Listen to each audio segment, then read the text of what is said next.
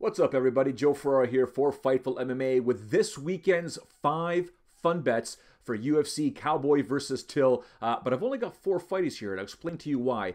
Main event Cowboy Cerrone taking on Darren Till. A lot of people are saying Darren Till could be the next big thing, or they're saying, who? Who is this guy? Even though no one knows him, he may get the better of Donald Cerrone. I think Donald Cerrone still has what it takes. He's a top ranked contender. Uh, he's still good to go with, with his fists and with his submission skills. Now, with his fists, I do think he's a faster striker than Darren Till, so I wouldn't be surprised if he does knock him out or score some sort of TKO. He's got five rounds to do it. You believe that? Plus 450 on your money. Now, Darren Till hits very, very hard. Don't be surprised if Donald says, you know what? I'm just going to take this guy down to the ground. And as always, people are now realizing that, you know what? Cowboy does have some serious submission skills. And if you think he can tap out Darren Till, you get plus 275 on your money.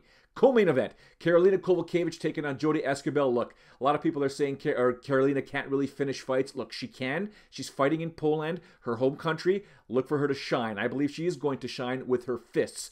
You believe that? You'll get plus 500 if she scores a TKO or a KO. Uh, Nasrat Haqparast. Who? Yeah, guy you've never heard of. He's taken on Marcin Held, uh, who's been with the UFC for a while, but just hasn't lived up to what we thought he was going to be.